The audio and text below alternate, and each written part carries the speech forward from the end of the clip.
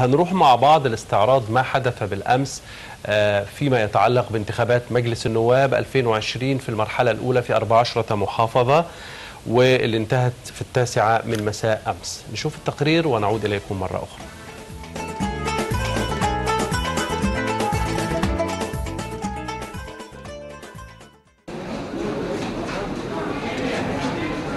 يوم جديد يشارك فيه المصريون في صنع مستقبل وطنهم واستكمال بناء مؤسساته.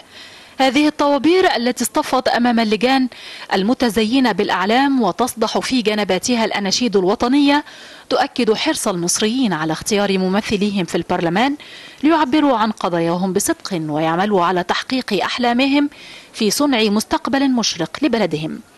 فمنذ التاسعة صباحا بدأت عملية التصويت بالمرحلة الأولى من انتخابات مجلس النواب التي تستمر على مدار يومين بأربع عشرة محافظة. هي الجيزة الفيوم بني سويف المنيا أسيوط الوادي الجديد قنا الأقصر أسوان البحر الأحمر الإسكندرية البحيرة ومطروح.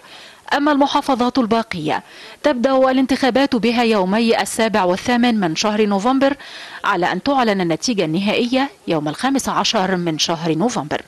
أكثر من 33 مليون ناخب مدعوون للتصويت في مرحلة الانتخابات النيابية الأولى التي تجري وسط إجراءات تأمينية مشددة تشارك فيها قوات الجيش والشرطة تتضمن أمنيا واسعا في محيط اللجان مع اتخاذ التدابير الصحية والوقائية ضد انتشار فيروس كورونا تتعلق بارتداء الكمامات وتحقيق التباعد بين الناخبين.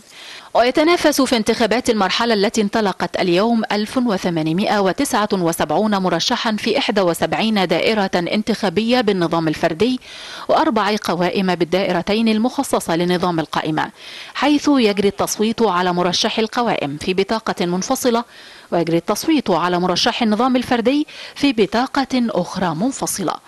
الانتخابات التي تجري في المرحلة الحالية بعشرة ألاف ومئتين وأربعين لجنة فرعية لاختيار 285 نائبا في النظام الفردي والقوائم تخضع لإشراف قضائي داخل اللجان كافة كما تشارك في متابعتها بعثة مراقبة دولية مكونة من سبع منظمات مدنية غير حكومية من دول أوروبية وإفريقية إضافة إلى وفد من البرلمان العربي. وتستمر عملية الاقتراع في يوميها حتى التاسعة مساء ما لم تقر الهيئة الوطنية للانتخابات قرارا آخر بمد التصويت إذا لزم الأمر.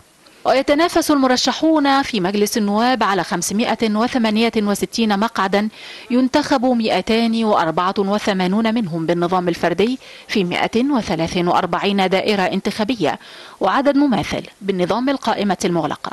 ويعين رئيس الجمهورية بحكم القانون 28 عضوا بنسبة 5% من الأعضاء. ليبلغ إجمالي عدد المقاعد الإجمالية بالمجلس 596 مقعدا مع تخصيص ربع مقاعد المجلس للمرأة حسب ما ينص القانون. سوزان مصطفى التلفزيون المصري.